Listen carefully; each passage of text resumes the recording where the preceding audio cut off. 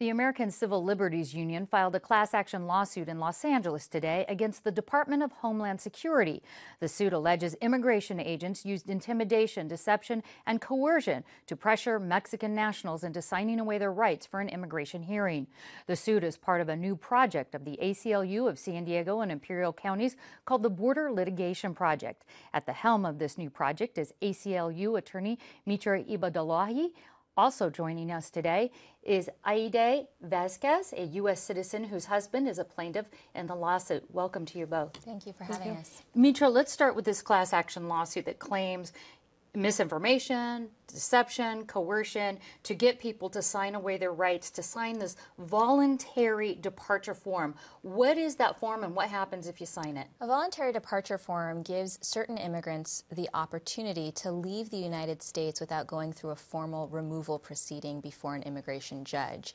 If elected voluntarily, if knowingly elected, it's a different way to leave the United States. When you sign the form, you can be expelled from the United States. You are supposed to have a period of time to put your affairs in order. Our plaintiffs were all expelled within a period of 24 hours. Is it illegal to, to, to coerce? I understand the Supreme Court allows law enforcement to, to uh, lie to people to get them to do things. Is it illegal to do this? It's a violation of your due process rights to sign away your rights without it being knowing and voluntary. And so we allege that under the current practice as it exists here in Southern California, both of those requirements, it's neither knowing nor is it voluntary. People are signing away their rights without realizing what they're doing. Well, the U.S. Department of Justice defines voluntary departure like this if you have no way of lawfully remaining in the United States, voluntarily, uh, voluntary departure is permission to leave the country in a way that has fewer negative consequences than being removed. But that's not what plaintiffs in the case are claiming. There weren't fewer consequences. And, and with me, Aide, your husband is one of the plaintiffs in this uh, suit. Tell us what happened to him. Well, he um, got pulled over in San Diego. Um, he was using the for, cell phone. For talking to mm-hmm. me on mm-hmm. the cell phone, yes. And um, I found out that where he was, and I arrived at the scene. And um, I guess the officer asked my husband for identification. And my husband obviously but didn't have a California ID. And I guess the officer immediately suspected that my husband was illegal. And I arrived there and I told him, That's my husband. We've been married seven years. We have two kids together.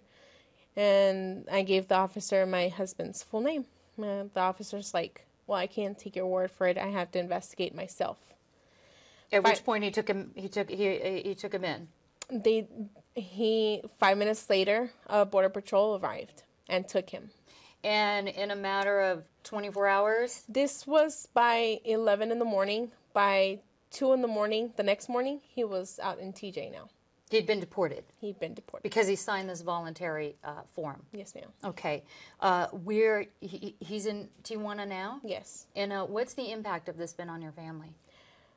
For me, it's been very hard because I've had to see my kids go through so much. Like my my son, for example, wouldn't eat, wouldn't sleep, would ask where is dad at where I want him to come home. Where's my dad? And my daughter as well.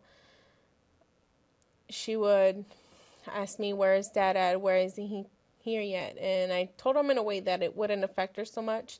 I told her there's some officers that won't let your dad come home. And she's like, Well, what if I asked them to let dad come home? Would they let him? And I mean, what am I supposed to answer to that? It's a mm. six year old asking. And, and, and right now he's in T, uh, Tijuana and you visit him often? I, I visit him at least once a week. I mean, it's very economic wise, it's very hard. And I have to be here to work. Uh, you are a U.S. citizen. I just I want to make that clear. And, yes, and, he, and he was not.